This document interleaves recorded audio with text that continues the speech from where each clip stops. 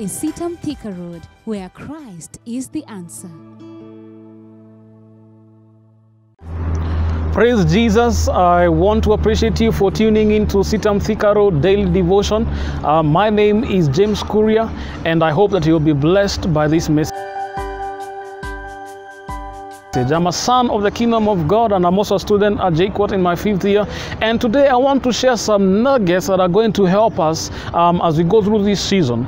Now, um, when, when, when it was announced that actually schools have been closed, we were be- just beginning the semester for me. You know, those who are in engineering because I take engineering. However, for other faculties, you know, those who are in um, uh, BCom and things like that in our institution, they were actually remaining with three weeks to their exam. So it must be devastating, you know, for a student to be told go home and yet you're just remaining with three weeks to finish your school. Because the, final years who are supposed to finish by last week. And so it was um, it is very frustrating that actually they now have to stay at home during this season. And you see there is anxiety in the mind of a student. You know i'm, I'm, I'm just going to talk about what is the response of a student to covid-19 you know some students are anxious. What will happen that the fact that i have to pay rent during this season and yet i'm not staying in that house? What will happen that you know um, you know the things that i'm supposed to have finished they're going to be pushed. And today I'm going to share from the book of John, chapter 16, verse 33. And these were the words of Jesus. I'm reading from the NKJV version. This is what Jesus said. These things I have spoken to you, that in me you may have peace. In this world you will have trouble, but be of good cheer. I have overcome the world. And so the, I'm going to share on four nuggets that are going to help us as we go through se- this season. Number one, Jesus said that in this world you will have tribulation. So Jesus confirmed that actually challenges are part of the package of life. And you see, life is full of challenges. But the good thing is that overcoming those challenges is what makes life meaningful. So Jesus affirmed, yes, as long as you're in this world, there will be trouble. You see, COVID-19 has lasted for almost a month so far. And you know, it could it can be so frustrating when you think that this is how we are going to live for the next few days. See, COVID 19 has come just but for a season and it is going to pass. You see, when people are going through winter, they are hopeful. Why? Because summer will come. When people are going through summer, they don't throw their clothes. Why? Because they know that this is just for a season, winter is coming. And you see, Ecclesiastes chapter 3, verse 1 and 4 says, To everything there is a season, a time for every purpose under heaven. Even what we are going through is a season, it shall eventually pass. So COVID 19 is not permanent. It is not permanent. It is only for a season. And if only we can have hope that it is here just for some time, this will encourage us. So I want to encourage you that number one, realize that challenges are part of life and that everything on earth is just for a season. Number two, what Jesus said is that be of good cheer. So Jesus was telling the disciples, Yes, you shall have trouble, but you know what? Be of good cheer. And so he was telling them, in as much as you will have trouble, encourage yourself, be cheerful in the midst of trouble. You see, we cannot control what is happening around us, but we can control what is happening within us. See, the issue is not whether you face challenges, the issue is what is your attitude towards those challenges. Do you see them as an end to life? Do you see them as a full stop, or do you see them as a comma? Knowing that even though this challenge has come, we, we can still progress and move on. So I want you in this season, don't frustrate yourself. Don't live like a person who does not hope, who does not have hope. Instead, be cheerful. You know, we all have a control of our mindset. We have a control of our attitudes and thoughts. And so we might not be able to be con- to control what is happening in the world right now, but we have the ability to control the things that we feel. We have the ability to control how we respond to what is happening. So, in this season, I wanted to encourage you rather than complaining and being bitter about the situation, you can choose to make the best out of this mess and come out better.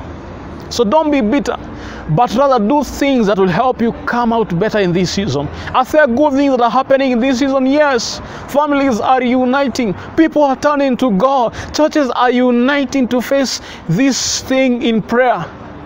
You know, people are learning new skills.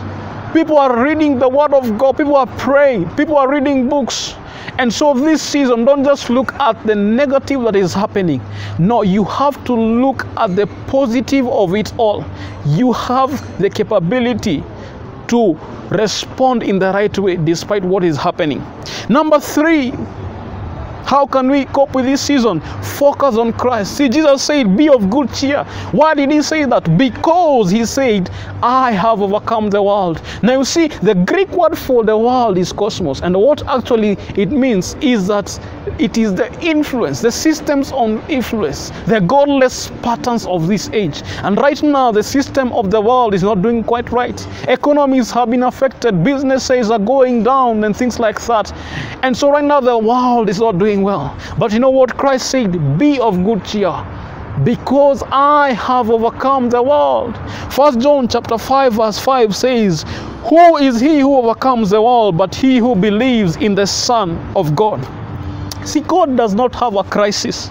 And when we put our trust in Him, we believe that He has the ability to take us through this season and to bring us out of it. So God does not have a crisis. That is why we trust on Him because He is the one who is able to do amazingly, abundantly above all you can ever imagine or ask in this world. And so, in this season, if you're anxious, I want to refer you to the book of Philippians, chapter 4, verse 6. The Bible says, Be anxious for nothing, but in everything by prayer and supplication with thanksgiving. Yes, we give thanks regardless of our circumstance. With thanksgiving, make your request known to God. I know what the, that verse says, and the peace of God that surpasses all human understanding shall guard your mind. In other words, there is a peace that comes from prayer. There's a peace that comes when you trust in God. You see, the peace in the world is dependent on the lack of conflict. But our peace comes from knowing that God is above everything. That God is, when God is in control, nothing is out of control. And so our peace is in the fact that we may not know what tomorrow holds, but we know who holds tomorrow. And the good thing is that God is with us. He shall never leave us nor forsake us. When we pass through the fire, He is with us. See, don't take the presence of the storm to mean the absence of the Father. See, when the disciples were facing so much turmoil, when they were in the sea and the boat was raging, Christ was still with them. So even in this season, God is still with us. If you're anxious about, you know, maybe as a student, what will happen to the rent that I have to pay and yet I'm not staying there? The Bible says, do not be worried about anything. Do not be worried about anything. In Matthew chapter 6, Verse 31 to 32, it says, Do not be worried about what you will eat or drink. Where will the rent come from? Because God knows all our needs. God is our provider. And you see, God is not affected by the economy. He is a supernatural God. He is able to provide regardless of the situation of the economy. And the last thing I want to share is this. When Jesus was saying, Be of good cheer, he was addressing his disciples. In other words, he was giving them a nugget to encourage them in this season. And so, see, Jesus is a good person because he was telling his friends, by the way, these things will come. And so, in this life, if Jesus had disciples, whom do you have? In this season, be in a fellowship, call a friend, you know, it is easier to go through every darker season of life when we have people to encourage us. David had Jonathan, Paul had Silas. Who do you have? So make sure in this season that you stay in touch with your friends. Because when we are down, you, there is a friend who can encourage you. So those four nuggets, don't forget them. Number one is that challenges are part of life. This is only a season, it shall end. Number two, focus on Christ. Number three, maintain the right attitude in this season. And number four, stay in touch with your friends. And my prayer is that you shall make the best out of this season. God bless you and stay blessed.